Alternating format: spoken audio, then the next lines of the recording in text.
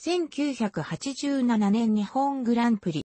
1987年日本グランプリ。1987ジャパニーズグランドプリは、1987年10月29日から11月1日にかけて、鈴鹿サーキットで開催された、海一世界選手権の第15戦である。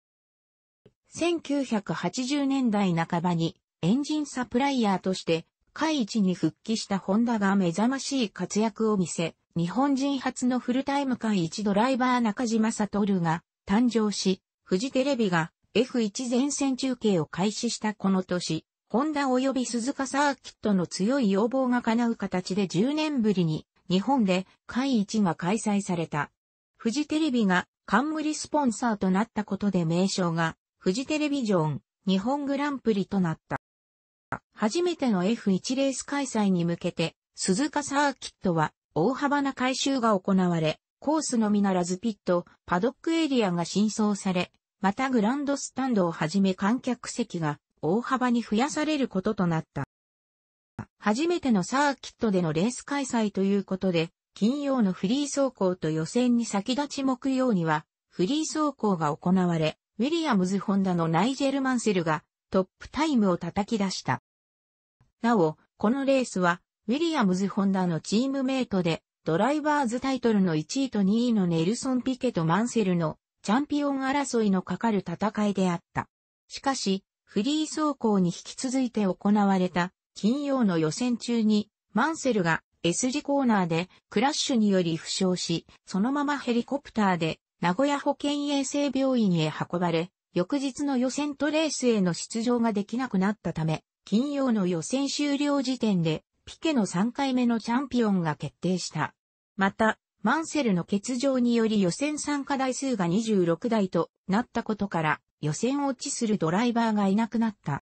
このレースは、ホンダエンジンにとっての母国グランプリであるものの、ポールポジションは、フェラーリのゲルハルト・ベルガーに奪われ、2位もマクラーレンタグ、ポルシェのアラン・プロストなるなど、これまで指定席であったスタートの最前列に1台も並べなかった。そればかりか、マンセルの欠場により、ワールドチャンピオンが決まり、モチベーションを失ったウィリアムズ・ホンダのピケが5位、マシンバランスに問題を抱えるロータス・ホンダのアイルトン・セナが7位、同じチームの中島悟が11位といずれも振るわない結果となった。曇りながら完全なドライコンディションに恵まれた決勝レースは51周で行われた。前者がグリッド上からスタートしたものの予選4位につけたフェラーリのミケーレ・アルボレートがスタートスをし失速したことの影響でラルースフォードのフィリップ・アリオーにリジェメガトロンのルネアル・ヌーが追突した。追突されたアリオーはグランドスタンド前のコース上に部品を巻き出しリタイヤを余儀なくされた。しかし、赤旗は出ずそのままレースが続行された。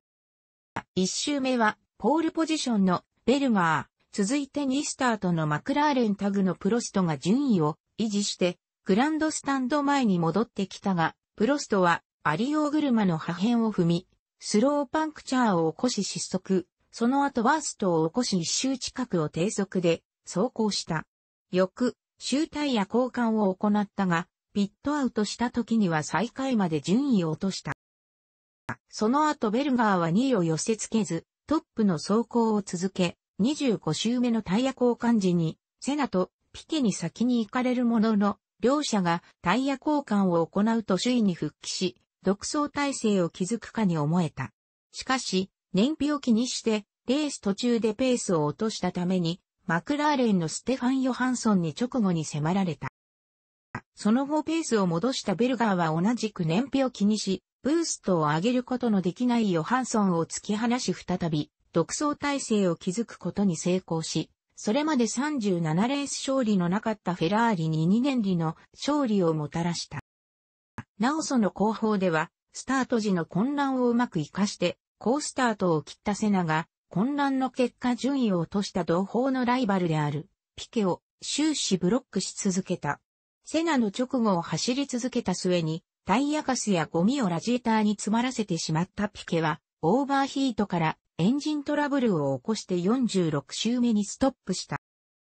その後セナはペースを上げ、ファイナルラップでガス欠を気にして、ペースを上げられないままのヨハンソンをパスし2位に上がった。スタートに失敗したアルボレートは追い上げを見せ4位に入賞し、続く5位は中盤は燃費走行に徹し、後半にペースを上げて、中島、チーバーラとのバトルを制したベネトンフォードのティエリ・ブーチェンが手にした。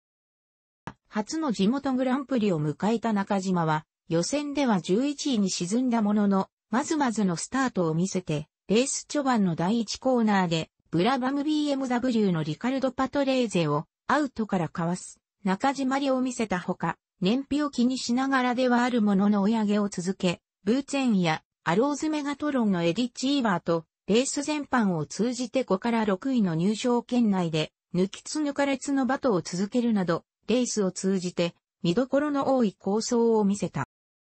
終盤では燃費に優れるベネトンフォードのブーツェンには、先に行かれたものの、中島とのバトルに熱中した挙句がスケツになり、スローダウンを余儀なくされた、チーバーを計算通りにかわし6位に入りした。自己最高順位の更新こそならなかったものの、この年にデビューした中島が優勝者と同一ラップでゴールしたのはこのレースが初めてだった。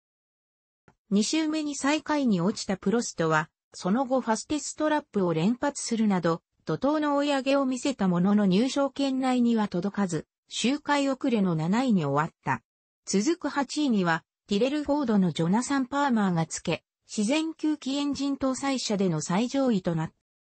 た。リジェメガトロンを駆るベテランのルネ・アルヌーは、ローラ・コスワースのフィリップ・アリオーと、マーチ・コスワースのイヴァン・カペリに相次いで接触し、2台をリタイアに追い込んだ。特に、この年より、日本企業のメインスポンサーがつき、準地元とも言える日本 GEP で改装していたカペリは、アルヌーの接触に激怒した。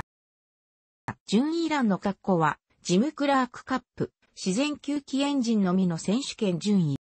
楽しくご覧になりましたら、購読と良いです。クリックしてください。